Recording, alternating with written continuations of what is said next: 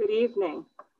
I'm Lori Robichaud, the Executive Director of La Grua Center, and it's my pleasure to welcome you to our conversation this evening as part of our Local Treasures series.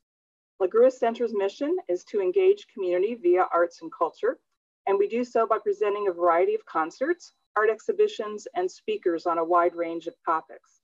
We are now presenting these events as best we can on digital platforms like tonight's chat on Zoom. We usually start with a little housekeeping. So I'm coming to you from La Grua Center's office in Stonington, Connecticut, and our program director, Kelly Rocherol, is behind the scenes from her home office nearby. We welcome your questions and ask you to write them in Zoom's Q&A feature on your screen, and we will get to them after our guests have chatted a bit. Our discussion will be recorded and available on the Grua Center's YouTube channel in the next week or so. This is also the time when I take a moment to thank the many people who donate to La Grua Center's annual fund each year, and I know some of you are with us tonight. Those gifts are a big part of making our year-round programming possible, and those annual fund dollars matter more than ever during this time of COVID when many of our usual activities are curtailed and we can't come together in person. So now on to our talk. I am acquainted with Cormac O'Malley and Chris Kepple, but not in tonight's context as filmmakers. And so I will ask them to now unmute themselves and come on camera. Gentlemen, they are here with us to tell us about their collaboration on the documentary entitled A Call to Arts about Cormac's parents, the photographer and sculptor Helen Hooker, and the author and Irish war hero Ernie O'Malley. And the film just won the Audience Choice Award for documentaries at the Mystic Film Festival last month. We're delighted to have Cormac and Chris with us to chat about the process of producing the film, as well as the stories of the people in it and behind it. And Cormac, I imagine it must have been so very interesting for you to take back a look back at the two people you knew as your mom and dad and how you came to learn about their extraordinary contributions to Ireland and to the world of arts and culture in the last century. The film has several airings in the next couple of weeks on CPTV and I, for one, can't wait to see it. So welcome, Cormac and Chris. Take it away, gentlemen. Thanks, Thank you Lauren. very much. Chris, over to you. Okay, um, thanks to everyone who's come to share this um, little chat with us. Um, we are going to start our talk about the film uh, tonight by um, sharing the preview for the film. So bear with me while I shift to presentation mode.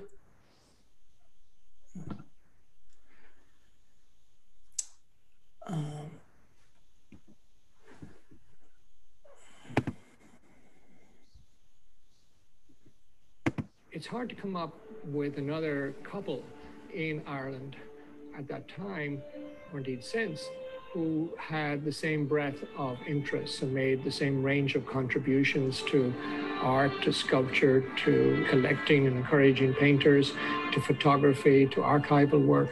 They were both extraordinarily prolific and energetic.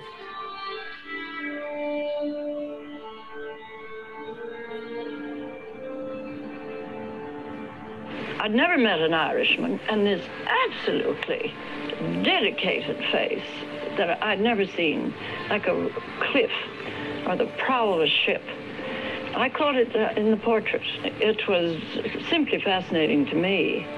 But he came just three sittings, and I was so in love with him at the end of the third, I never finished it. Helen was an artist ever before she met Ernie, so one wasn't depending on the other. I mean, it was a combined effort. It was a kind of golden period in Irish modernism. So many artists would not have existed without her patronage. I can still see the light, the tremendous light that was in the studio. We were engrossed in all sorts of conversations about all different subjects and to do with Ireland, to do with everything and the, the arts in general. I will never forget the intensity of her gaze. There were two artists who met together and wanted to bring a dream together in, in Ireland. We were very excited to see that because we hadn't seen work from that period by a woman before. The door is open here. You don't have to open it. It's being kicked open by Helen.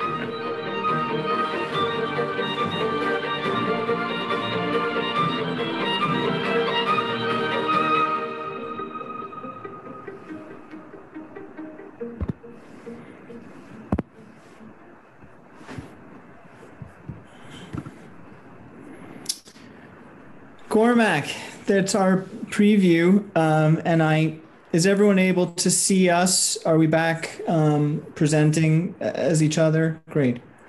Um, so, Cormac, do you have a question for me to get started?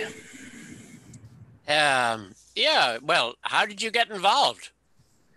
Yeah, that um, that happened when you invited um, Trish and Tanya from the Gallery of Photography, the uh, directors and curators of the Gallery of Photography Dublin, over to Stonington to explore the O'Malley archive, and invited me for a very spontaneous uh, interview, video interview with both of them um, at the end of their investigation into the archive, and they were excited about um, the discoveries that they'd been making and their reaction to the images and their excitement about the images in uh, an Irish arts context and a modern arts context, I think was a signal to me, and I think to you too, that um, there was a lot of room to explore and a lot of potential uh, to develop uh, a, a, conversation and an exploration of this subject matter um, in film.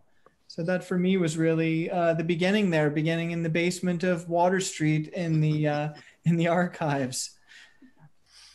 Um, well, we ha- had some. Uh, we had a, a, little bit of a um, track record, so to speak, just before uh, that, because um, I had inherited a large collection of my mother's photographs, but I had no idea what what was in there.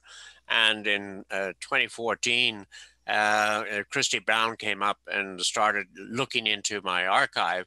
And as a result, we got a book out called Western Ways, which was photographs of the west of Ireland. And when we brought that back to Ireland and gave an exhibit, um, some of the galleries sort of woke up and sort of said, wow, she's a great photographer. And then uh, when uh, Trish and Tanya came out here, we started digging some more. And the idea came up that we might do a major um, exhibit uh, at the National Library of Ireland as well as in the Gallery of Photography, which Trish and Tanya run. And so that allowed us the venue, so to speak, and the uh, to create a book called uh, A Modern Eye, and uh, to give uh, legitimacy and, and reputation to my mother as a, a photographer. And in the course of that, we sort of said, well, we're going to have all of these events in 2019. Um, why don't we film them? Uh, and so, you know, that's really uh, how you, Chris, uh, had uh, done some work earlier, and then we said, fine, let's let's challenge ourselves to make a movie out of this. It really, I mean, stepping into that, um, stepping into that moment in Cormac's life where the culmination of so many of his efforts, um, and really, which was the continuation and the culmination of his parents' efforts.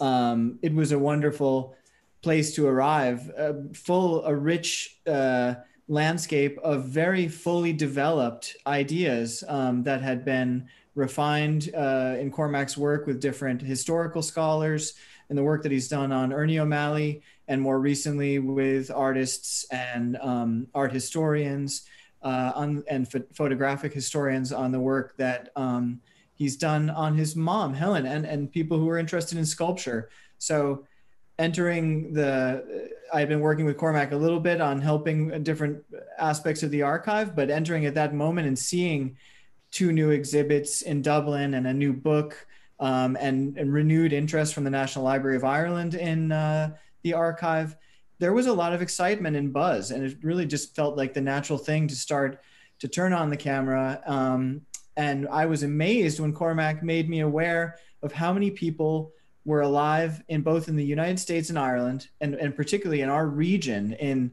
New England and New York, and then um, in Ireland within driving access of Dublin, who knew Helen and who could talk firsthand about um, their relationship with Helen and their uh, interaction with her at various stages of her artistic career. So it, it just it was a such a such a, a serendipitous moment um, that Cormac and I were able to come together, and he was able to lure me away from a somewhat dull job into a much more exciting job uh, for a year. So thanks, Cormac.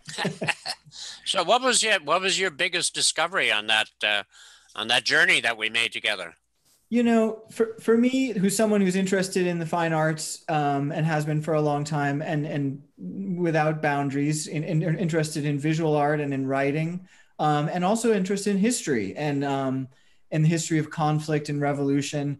And I think in the O'Malley archive, we get this wonderful conversation uh, where a political moment, a revolution, and a, and a fight for freedom in Ireland uh, are, are in, intersect with uh, an artistic expression of that um, fight and of that uh, spirit to celebrate an, an independent Ireland and uh, and an Irish and the and what really the heart of Ireland was as far as Helen and Ernie uh, sought to understand it. Um, it was as Cormac and I work on Ernie's journey, the series that we um, have been doing for some time on Ernie O'Malley's um, journeys through the War of Independence and Civil War. Ernie writes frequently about the soul of Ireland and about what um, the fight for that soul is, and, and how the people uh, have took it upon themselves to wrestle for for a strong feeling of national independence and national identity. And I think in many ways, seeing Helen and Ernie's legacy, it's the legacy of that teamwork to take that goal further, you know, to transition from, uh, you know, a call to arms to a call to arts. Uh, and there was our title. Um, and it was as simple as that. Once that title came to us, then we never uh, turned back from it because it always took us to the intersection of, uh, of ideas that we wanted to be in for this film.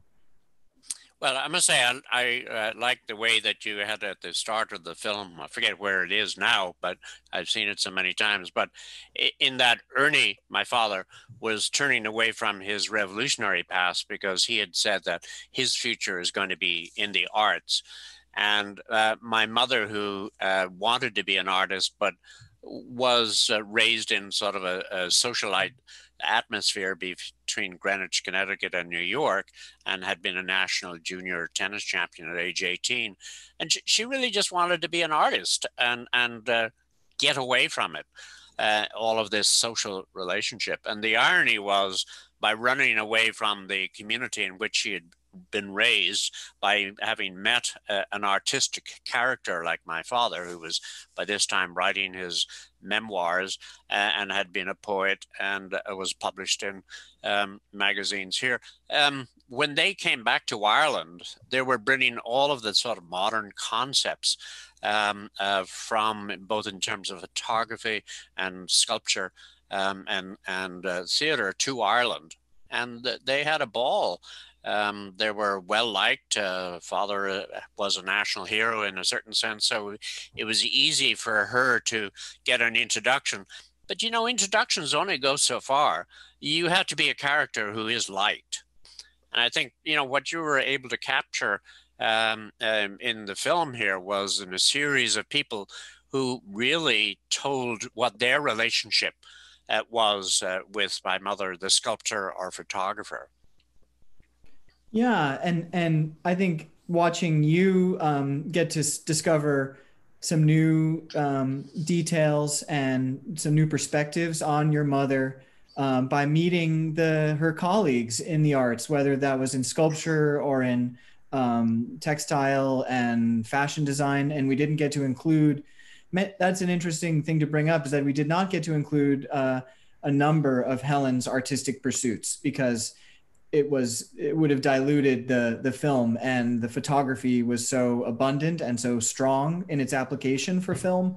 So the film sort of to- told us what it needed in that sense. And we had hoped to to include her wonderful um, paintings drawings her theater design and maquettes her fashion design but we had to settle for her sculpture and her photography um, and her fascinating relationship with Ernie O'Malley and her children. Um, and that was one of the sort of unexpected gifts uh, of the film was, you know, setting out to really document an artistic legacy and discovering um, a really meaningful personal legacy um, that Cormac and his brother and sister were generous enough to share uh, with everyone. Um, so thanks for that, Cormac.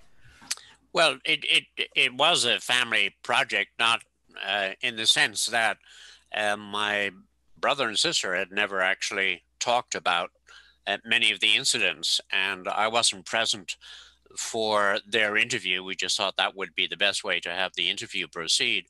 And so I had no idea what my brother or sister were going to say or had said to uh, uh, to Chris until we sort of saw a, a, cut of the movie later. And I thought there was great pathos and great understanding. Um, and you could see the various segments of our lives uh, both together and then when they were kidnapped and brought to America, and, uh, and then after after my father's death, to see the emotional toll, uh, positive and negative, under all of these circumstances. So I think in a very poignant way that uh, the film actually uh, tells several stories uh, my, own journey of discovery, uh, the uh, my family's uh, discovery, as well as uh, my mother and father's relationship uh, in the arts, and really what makes it also appealing is the fact that all of this was well received. I mean, you know, if, if you take the characters like uh, Paddy Moloney, uh, head of the Chieftains, I mean, a lot of people in America know the Chieftains um, as a as a band. Well, you know, um, here uh, my mother is sculpting Paddy Moloney. Cormac, you know? let's go. Let's go to our. Let me share screen again. We have a photo and a sculpture of Moloney that we'd like to share. If we can be, sure. if I can be successful in this, which I hope I can once more. Um,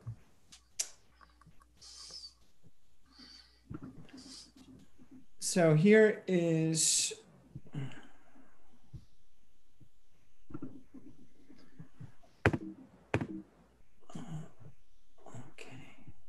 We can, we can talk through uh, the sure. slide slideshow if you want. Yeah, well, I've got a little. Uh... Helen O'Malley. Now, uh, I met. Uh, it was an exhibition here in Dublin, and uh, uh, you know she was telling me about New York, and she was talking about doing a sculpture. She loved to do my head for some reason, you know, and so when I was in New York, you know, I met up a couple of times, and she was a member of a, a sort of a famous club there on Fifth Avenue.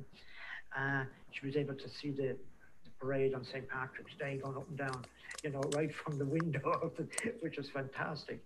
Uh, but then, you know, she was set up here in Dublin at Lansdowne um, Mews. And um, uh, so going on, there's uh, a, a, photo of Paddy that. Oh, there's a photo of Paddy that um, Helen took. Cormac, go ahead and resume uh, introducing us to Paddy as we look at this photo. Yeah, so th- this would have been uh, in my mother's uh, studio in uh, Dublin. Uh, not so much a studio, just where she lived as a, in a small little apartment. Uh, and she made her living room into uh, a home where people would uh, come and visit, and uh, people like Paddy Moloney would come play uh, play the the tin whistle or a flute, or um, and and others would perform, and she would just be sculpting him and uh, Paddy was very amusing in terms of uh, he didn't quite know what was to be expected, uh, nor what the outcome would be. But he was really very satisfied um, with, um, and of course, this is all uh, uh, many years ago, um, in about 1975. So um, Paddy was uh, much much younger then than he was uh, in the interview as we captured him. But th- they uh, um, he he gave the spirit of what those meetings were like and what her studio was. And um, I thought was very imp- impressive was um, he he and and the other people uh, just sort of said, you know, she concentrated on the art, and she was able to, amazingly enough, uh, be be able to speak and yet capture. Um, a, a, head like this, and this would be an early section of the head, uh, not quite finished, um, but uh, Paddy only came twice in two two uh, settings, uh, and uh, then she would uh, finish the sculpture later on after they've gone. He would take she would take some sculpt some photographs of him, so that when he he left, he she had some images to go back and look at. Um, uh, should we go, Cormac? Should we go and uh, since we're talking about Helen and sculpture, should we visit a John Behan sure. photograph and and include him in this conversation? Here's um, here's John Behan. Um, and here is uh, Cormac hard at work interviewing John Behan. Uh, Cormac, you want to take it from here and introduce us to John Behan? Sure. Well, uh, John um, was uh, a sculptor, also uh, to make a, a, living, since the arts are not always very uh, uh, profitable, it's very, very hard to uh, to get a start as an artist. And um, he went into foundry work. So the foundry, uh, he went over to London, learned the foundries, and then he brought the technology which he and Leo Higgins um, had uh, uh, come to learn in London. And he said, why don't we open up our own foundry? So here he is, uh, the, the man in the back there with the berry uh, on his head is uh, John Behan in his own um, casting place in Dublin called the Dublin Foundry. And it was the first major foundry in Dublin to be created. And um, he uh, uh, started, uh, that was uh, in about the 1970s. And um, it was nice for him because he got to meet the artist. He got to uh, have a mechanism whereby he could do his own uh, art. And just to say who, who he is, there's a many uh, of on the program may have seen the marvelous famine ship, which is now placed in the United Nations out in their garden. And John Behan was the artist who did these tall, thin uh, figures who were starving, and and the ship, which you can see through. And he was so uh, emotional in the way that he was able to capture these images.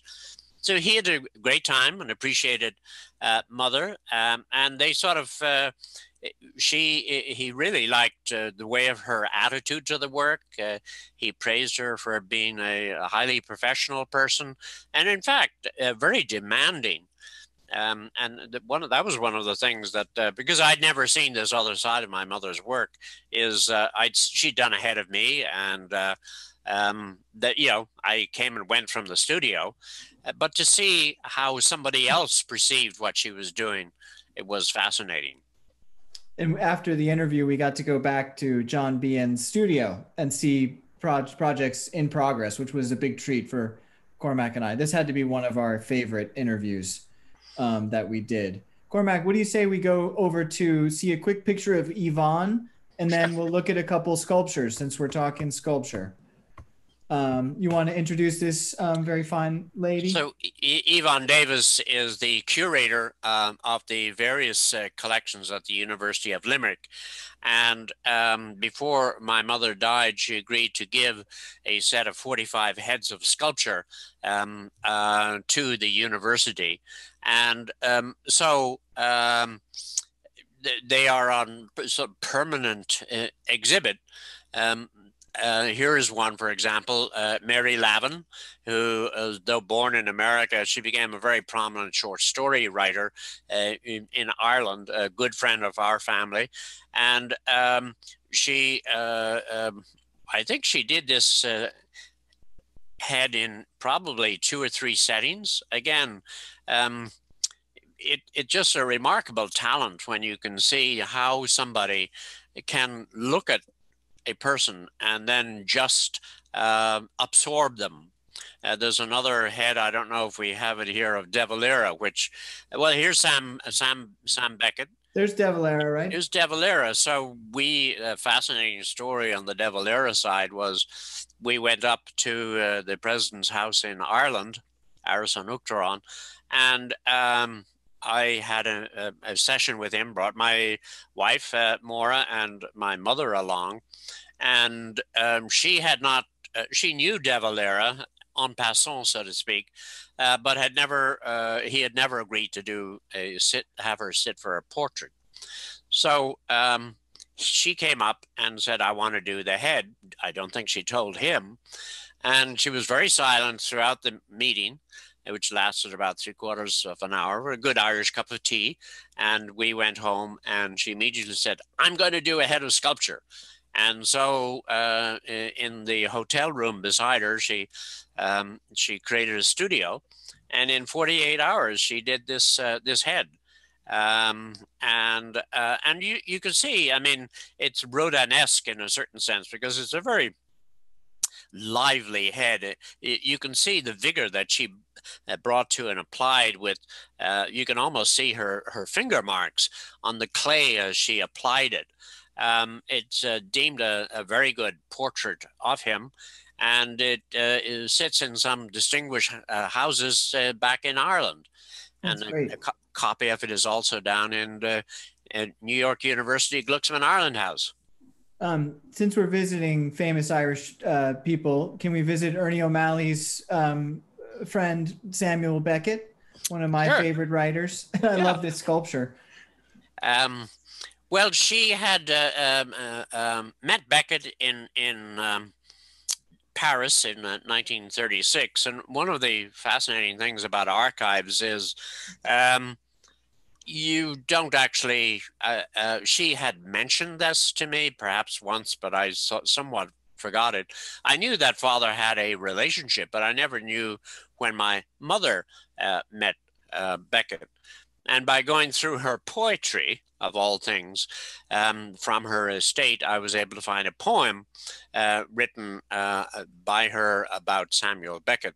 And so we have the text uh, and the reference to her meeting Samuel Beckett back in 1936. Um, when Beckett died um, in the, uh, uh, I'd say it was early 70s, um, she kept saying, I always meant to do ahead of him. And so, though uh, she didn't have uh, Beckett sitting for her, as she had so many others, um, she had uh, photographs of him and she had her own memories of him. And so, um, she she constructed this, which I think is a, a brilliant uh, a brilliant head of uh, of Beckett. I really agree. Um, Cormac, what do you say since we're in the slideshow? Why don't we visit a few photos and sort of take ourselves to the end of the slideshow, and then we'll we'll say um, adieu to our audience. Yeah. You want to say something about County Well, Mayo Man? Yeah, this is uh, the the Mayo Man. Um, it it's uh, what I call is uh, it's a, a Yeatsian. Uh, Jack Butler Yeats uh, did many characters like this uh, back in the uh, early 20th century, and um, she uh, did a portrait of what she called the Mayo Man, and um, before she died, there was an awful lot of sculptures in her Greenwich studio and I think we had about 300 of them. And um, I told her that I wasn't going, to, you know, they'd be thrown out if she didn't cast it. And um, uh, this one uh, she didn't cast. I'm not quite sure why, but uh, I said to myself, I will, um, I'm going to cast it. So I, I just thought it was such a, a spectacular character. And, you know, the motion, you can see this man walking down the country. Um, he wouldn't be in the present day, nor in the, even in the 70s, but it's an image of the earlier period. All right, and one last image of a younger Helen uh, with a beautiful sculpture of an earlier style, much more um, sleek and and a little less Rodin-esque, as we like to say. Can we move on to some photos since we sure. have limited time? What do you think? So Yeah. the first group of photos um, is are from Kilmainham Jail, a place that uh, Cormac has visited many times. Cormac. Yeah, so Kilmainham Jail is the Bastille of Ireland, and uh, my father had been incarcerated there uh, by the British um, in the war, Irish War of Independence, and also uh, during the Irish Civil War uh, when he was fighting against the government after had there had been a treaty. You can see the fortress-like attitude of of this uh, uh, uh, prison, and uh, he spent um, some some very bad days there. Um, he was um, uh, living under the atmosphere that he might, in the first instance, be identified because he had given the wrong name, an alias Bernard Stewart. Um, and they were very, he was very afraid that they might actually find out who he was.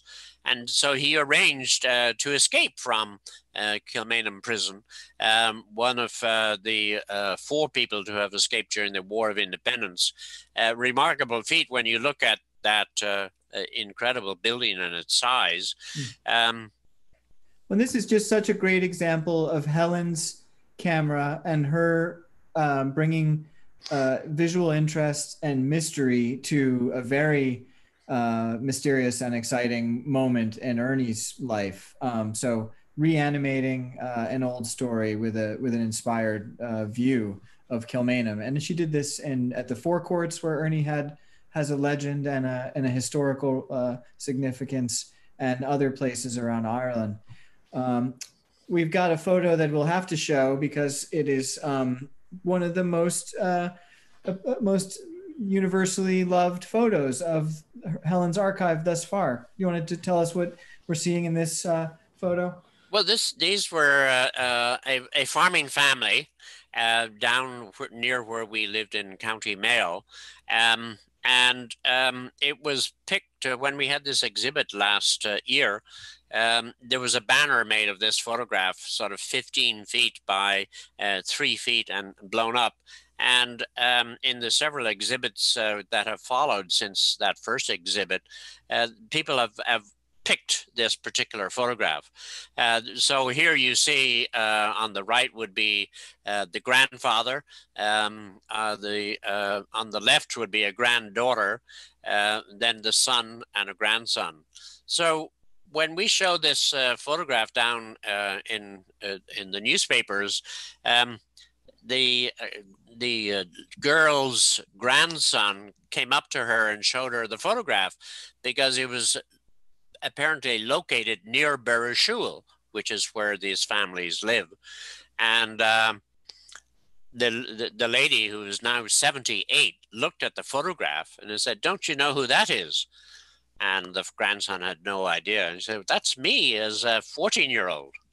So, I mean, it was a beautiful story. And she was, uh, when we had an exhibit um, in February this year before COVID hit uh, in Ireland and closed the uh, exhibits down, uh, she was the big star at age 98 uh, in the Museum um, of uh, Country Life in Castlebar. But it shows the indomitable spirit and sort of possibly the frustration of why are you taking this photograph? But it's a great character. Image, I think this image should be in the Irish Museum of Modern Art. Uh, it would, it's, it's, it deserves it. Let's look at a photo of Helen uh, walking adventurously down to a well-known bridge that we got to visit uh, in Ireland in our travels to Newport. Um, do you want to say something about this photo? Yeah, and then I've got a contemporary photo of the bridge this is what we call the Seven Arch Bridge uh, off the Burrishoole River, and it, you can see it's uh, at low tide. So uh, the fresh water from the Salmon River uh, upstream is coming down through the bridge, and those trees behind that um, uh, bridge are on our property. And uh, so my mother was doing that my mother and father spent uh, three or four years, weekends really, uh, uh, over that period, uh, going through uh, around Ireland. So they would be taking photographs of uh, monasteries as well as infrastructure. Um, um, and here's a, a, more modern one. here's um, one just snapped on that trip. But since you're going into other photo subjects, let's pass through some other photos. Well, these are curraghs, which are uh, the um, Irish. Uh, uh, when when you go fishing in the west coast of Ireland in the early 20th century, this is what you would go fishing in. You go fishing for sharks, which would be larger than that curragh and uh, you would uh, tackle them. Very interesting. If you look at right behind them on the shore, there's a whole bunch of old curraghs. Uh, the, you know, and a curragh is actually made out of canvas and is put over a very light frame of wood. And you're going out in rough waters to uh, go fishing or go on transport wherever you're going, and uh, you're pulling away um, um, in um, difficult times um, but this is an, an island off the course uh, called Inishbofin. And uh, again, one of the things that people, any tourist going to Ireland will remember the bog scenes that they've seen. And uh, in this photograph, you can see the pattern of how you uh, cut the small um, piles of, of uh, turf and then they get bigger and bigger. And the purpose is so that they can get dried before you take them into the home. And there's a shrinkage factor in in uh, each cut. it shrinks by about uh, sixty percent. And so it's pretty heavy, filled with water, and then you put it up, and uh, then you bring it home, and this is what you uh, use throughout the winter to heat your house. I assume that that is a pile of turf too, isn't it? Uh, yeah, that's that's a pile of turf ready to go yeah. in and and and be kept. Uh, and you know, you would use it for cooking as well as. Uh, uh, you know, in our home, we would have uh, a fire in each room because it's pretty cold and damp in the west of Ireland. I hope the resolution is coming through on these um, for everyone. This is just a beautiful portrait of a family, um, as Helen would find would bravely uh, interact with seemingly almost anyone in her uh, photographic adventures. Love this image as well. Yes, she had the. I mean, whether she was in Japan without any uh, hmm. knowledge of Japanese or in Russia uh, or in Finland, she was able to get people to pose for her, but uh, it wasn't a formal pose. And again, she used her charm. Um, uh, these are uh, two little uh, children in, in Ireland. That made the cover of my book, The Western Ways. And you can see definitely the young girl sort of frowning, Why are you doing this to me? the boy is quite happy to be in the limelight. Probably because he's admiring the beautiful Helen Hooker, um, uh, Helen O'Malley. uh, I love this photograph. Can you do you remember where this one is? So this is Kildavnet uh, uh, Castle. The castle actually is an O'Malley castle. It was uh, by uh, Grace O'Malley, or as we call her locally, Granuaile. Granuaile was um, uh, one of her reputations as being a pirate queen from the west of Ireland. She got into difficulties with the law because she was very independent and she uh, was known as a pirate and um, she would attack British sh- ships or demand that they pay bounty and uh, if not suffer the consequences um, and one of the things that she had was these what we call keeps or castles um, placed strategically around the bay of uh, Clew Bay in the west of Ireland. And um, they're high enough so that you could see out to sea um, and uh, see who is approaching you. Um, so this was uh, this was one on Achill Island on Kildavnet of uh, castle, built in the uh, middle of the 16th century. And Granuaile went over to see Queen Elizabeth to plead for her son in uh, 1593, and uh, there should be a, a, a, movie made about that. These are more uh, local um, scenes, uh, regattas, um, and so she uh, was able to uh, to catch the social pattern of people. Um, so Cormac, we're almost out of time, so we may as well mention the broadcast on Connecticut Public Television and some of the dates. The one I'm most excited about is the um, the Sunday evening at seven on November 22nd. But if you want to stay up late and watch it, you can see it uh, as the premiere on Connecticut Public Television, November 16th at 10 p.m. The Late Show. Um, and then we've also got Saturday, November 21st at 9 a.m. So have coffee with a call to arts. Uh, go ahead to the cptv.org. It's Connecticut Public Television's website. They've done a great job promoting the film. Um, they even created a 30 second promo for us because of, we have a long two minute uh, trailer that we use regularly. Uh, here's an action shot from the COVID influenced Mystic Film Festival where we all wore masks and uh, had a great time and, and entertained uh, 30 or 40 people and nobody got infected. That was wonderful. um, here's Cormac and I on stage, and that's our last uh, slide. So I'm gonna stop this screen share um, and hopefully uh, you're back seeing Cormac and I and no longer um, seeing our presentation. Um, at this point, Cormac, if you if it's okay with you, I think I'd like to invite uh, Lori to come back. Sure. Because um, we've used up 40 minutes and we want to be respectful of our audience. I'll come back and see if we have any questions. I see we had somebody with a hand up. Um, and I wonder if I'm going to allow her to talk. It's Betsy Osha. Oh, Joy. Betsy, Betsy do you want to? Um, let's see if I can get you to, if you want to unmute yourself, you can speak. I didn't mean to do that. I just saw oh. a little because I was watching. I forgot, even though I paid my money today, but it was wonderful. Those pictures are fabulous. It's very, very exciting. And I'm so proud of both of you. This is just wonderful, wonderful stuff. Wonderful. Thank you, great, Betsy. Great job. Thank right. you indeed. Thank you. Yeah, that'll teach you to push a button. um, I, will take this opportunity to ask a question, um, Cormac, because I don't know much of your backstory, and I'm quite fascinated. But I guess there are books about it. But tell us a little bit more about your mother and her sense of adventure. You mentioned Japan and Russia and Finland. We're talking kind of about the middle of the 20th century. Oh, most much earlier. Much earlier. Even earlier. Most women weren't doing that. Now, you know, obviously, if she was a huge tennis champion at 18, she probably saw more of the world and was more perhaps sophisticated than many women. But would you talk a little bit about that? Sure. Uh, well, actually, the world of tennis uh, in uh, 1923 is nothing like what we think of uh, tennis for the World uh, Opens. And she only went to the um, uh, American um, nationals and uh, but she won at age 17.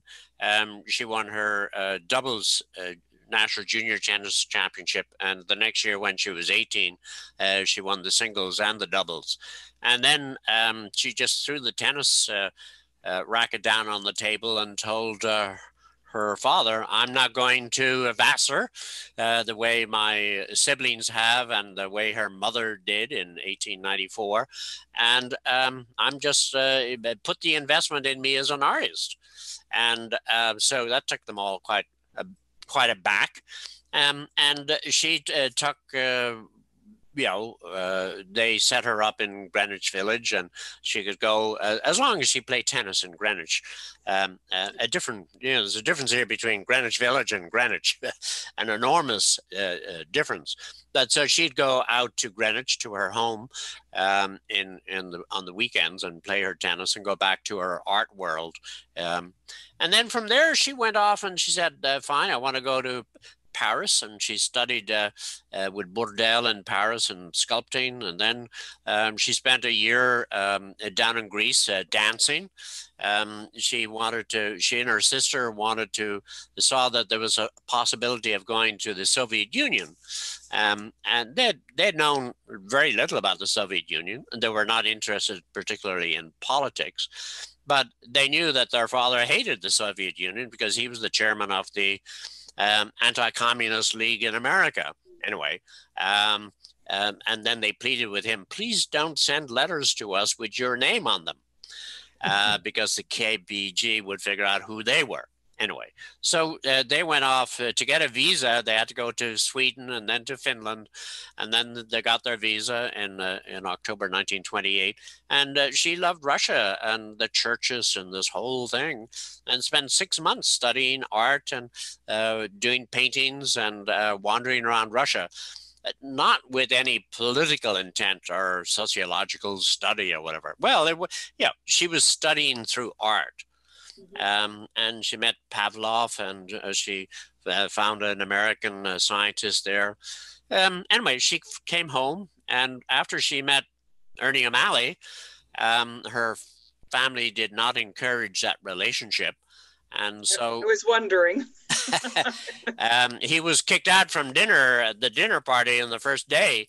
Um, and ironically enough, um, their fight was my father had lived out in New Mexico and knew exactly what the um, American American Indian conditions were, and the discussion came up and was quite um, deemed to be disrespectful as to my father's description of what he thought about America's handling of the indigenous American Indians in in uh, America. And he sort of said, that's just what the British did to us. So he had an affiliation based on knowledge, unlike my, my grandfather, who was from upstate New York and thought that they had handled the uh, indigenous problem quite well, sort of segregation and, and forget about them.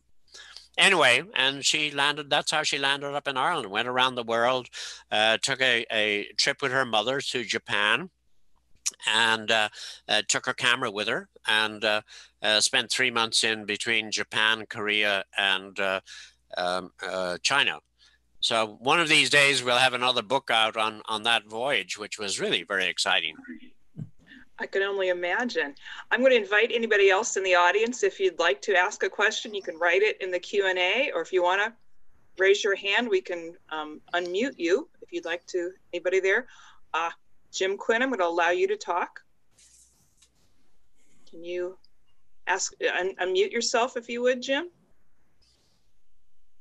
Hi, Cormac. How are you? Hey, Jim. Say, to what extent was your mother part of, if at all, sort of the um, the international art movement that was occurring during those times? I'm thinking of Stieglitz. I'm thinking of Georgia O'Keeffe. People like Helen Frankenthaler um, Louise Bourgeois. I mean, was there this sort of um, internationalism or this this cadre of, of really forward-looking artists that that she was a part of, that she was um, interacting with during these years? Well, um, actually, no. She was a, she stuttered, and so that was a, a tremendous inhibition in her social outgoing qualities. Um, and so one of my theories is uh, she took to individual uh, sports or individual artistic things, which you can do and produce a product um, and, and not have to speak or interact about mm. them.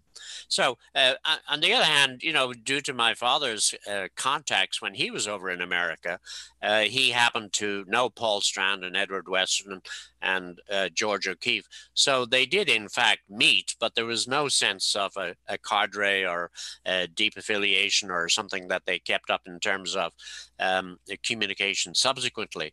What I think she did do is she was very inspired by the O'Keeffe work, and um, that was you know the the epitome of modernism. And so, uh, in the light touch of color that uh, Georgia had, um, my mother's principal medium was watercolor. So, not that she had a great influence from Georgia, but she was able to pick, and, certainly in modern, some of the later sculpture, uh, sorry, photographs that she did in the 1970s in in Mayo, uh, there was just the um, uh, the carrot, you know, or the shell which could have been a Weston uh, uh, Shell or a Paul Strand, and she did photographs. So, though she wasn't part of the group, Jim, she was uh, cognizant of what was happening in the world.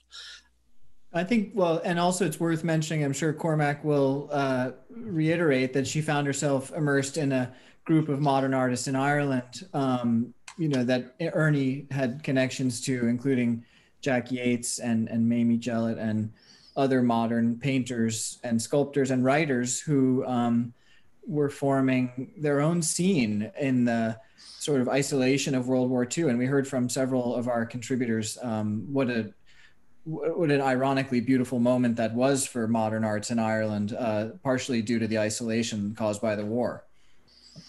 Yes, I mean she she was um, she got on famously um, and you know, uh, we got rid of the stutter because she's fallen in love and now married and settled, um, and uh, found her man. So I mean, that just gave her uh, the quote freedom, you know, that that helped everything. And she's also coming into Dublin, and she's able to. Uh, she attended a local uh, art school, uh, the Metropolitan uh, School, and um, met a lot of the local artists there. But their dinner table would be have uh, people like Frank O'Connor or Frank Aiken, and other people who she or Peadar O'Donnell, whom she would sort of politely whisper in their ear afterward would you be free for me to do a sculpture of you?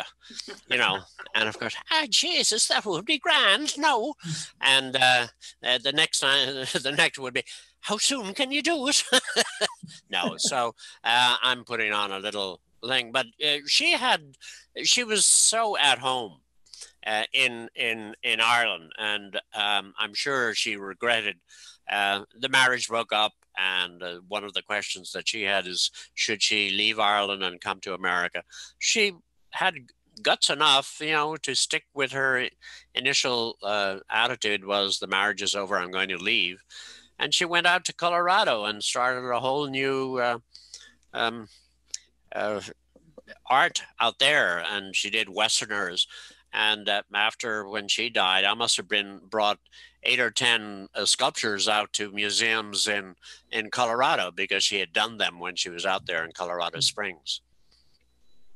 I love that that she uh, really continued her career and just changed continents and went off. And I think this documentary really gives us a chance to learn more about her work. And we all know that, you know, generally speaking, women artists have been less represented in the public eye for many years. And I think there are a lot of efforts to remedy that. And I think this film certainly does that. And of course, your father's fascinating stories are written about, and we see a different aspect of him, it sounds like, in, in this yeah. film too, in their partnership. My last set, last thing I'd like to express is just you know compliment Cormac on his bringing Ernie O'Malley's writing to more people and the historiography he's done. And Ernie O'Malley is one of the finest nonfiction writers of Ireland in the 20th century. That's why people like Sam Beckett were drawn to him. That's why um, films have been made. That's why Ken Loach seized on Ernie when he made The Wind That Shakes the Barley. And, and that text that inspired me to want to work with Cormac um, needs to continue to be discovered. And Cormac's done great work uh, in his mining the text, uh, making sure it stays in publication, doing other uh, work to explore Ernie's perspective through his letters. And we, you know, we hired a wonderful Irish voice actor who reads passages, beautiful passages uh, from Ernie's work in A Call to Arts. And and it's one of my favorite parts of the film is really that we were in a limited way able to bring Ernie's writing to life. Well, that sounds like a wonderful place for us to end this conversation. Um, so I thank our audience uh, for coming in with us, but mostly I thank you, Chris, for the film, and Cormac for you, your willingness to tell the story and perpetuate the lives of your your parents who are uh, such wonderful artists. And uh, I'm, I personally am eager to do some more reading and, of course, to watch the film. So I invite you all to uh, Google Connecticut Public Television and, and again, uh, find that film.